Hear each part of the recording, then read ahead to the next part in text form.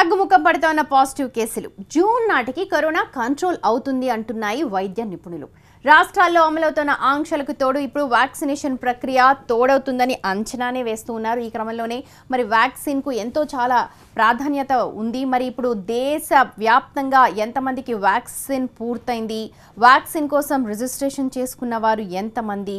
ఇలాంటి సమాచారాన్ని ఒక్కసారి మనం చూద్దాం. ఎందుకంటే వ్యాక్సిన్ అందరికీ కంపల్సరీ అంటున్నారు. కానీ ప్రస్తుతం అయితే తెలంగాణలో పది రోజులు అవుతోంది వ్యాక్సిన్ ఇచ్చి. ఇంకా దాని మీద ఒక క్లారిటీ రావాల్సిన అవసరం అయితే ఉంది.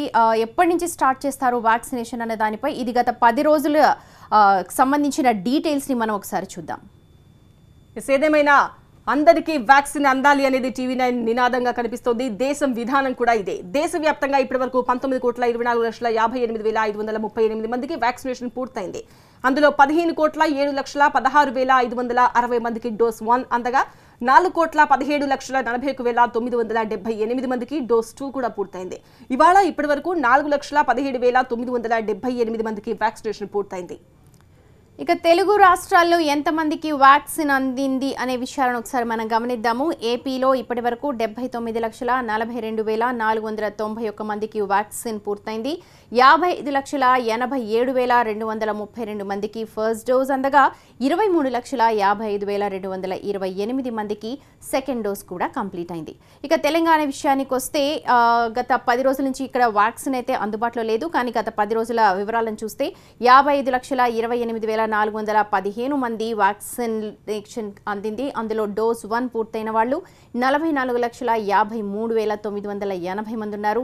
మరి డోస్ టూ పూర్తయిన వారు పది లక్షల డెబ్బై నాలుగు వేల నాలుగు వందల ముప్పై రెండు మంది కూడా ఉన్నారు. తెలంగాణలో ఈరోజు కేవలం రెండు వేల మందికే వ్యాక్సినేషన్ జరిగినట్టుగా మనకు సమాచారం అందుతోంది. నలభై ఐదేళ్ళు పైబడిన వారికే తొలి డోస్ ఇంకా చాలామందికి అందలేదు. ఇక పెయిడ్ వ్యాక్సినేషన్లు ఎక్కువగా జరుగుతున్నట్టుగా సమాచారం. ఇక ఇప్పటి వరకు రిజిస్ట్రేషన్ చేసుకున్న వారి వివరాలు చూస్తే ఇరవై మూడు కోట్ల ఇరవై ఎనిమిది లక్షల ఎనభై ఐదు వేల నూట అరవై ఆరు మంది వ్యాక్సిన్ కోసం రిజిస్ట్రేషన్ చేసుకున్నారు. అందులో ఎనిమిది కోట్ల తొంభై ఆరు లక్షల రెండు వందల ఎనభై తొమ్మిది మంది పద్దెనిమిది నుంచి నలభై నాలుగేళ్ళ మధ్య గ్రూప్ వారైతే పద్నాలుగు కోట్ల ముప్పై రెండు లక్షల ఎనభై నాలుగు వేల ఎనిమిది వందల డెబ్బై ఏడు మంది నలభై ఐదేళ్ళ పైబడిన వారు.